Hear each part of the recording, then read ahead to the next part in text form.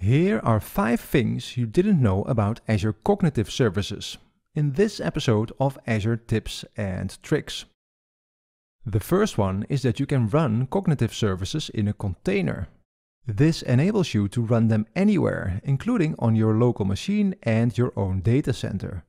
For instance, you can run the Language Understanding Service, LUIS, in a container and run it on your own server. You can learn how to get started with Azure Cognitive Services in containers in the documentation. The second thing is custom domain names. When you've created a Cognitive Services resource, you can access it through a URL like this one.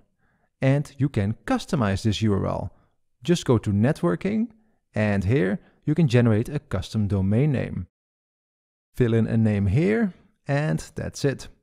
Now let's go back and the endpoint now has the custom domain name. The third thing is exporting models for offline use. The Custom Vision service enables you to create AI models for custom image data that you provide. You can use this to create an API that, for instance, can tell you if an image that you upload contains a cat or a dog. Typically, you use models like these with mobile applications, which do not always have an internet connection. And because of that, you can export the AI model of the Custom Vision API to various formats so that you can use it offline. And the fourth thing is Bing Statistics.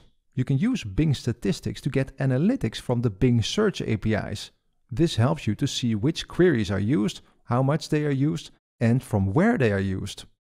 You can simply enable Bing Statistics here in the Azure portal with the add-in for cognitive services. And the final thing is the API console.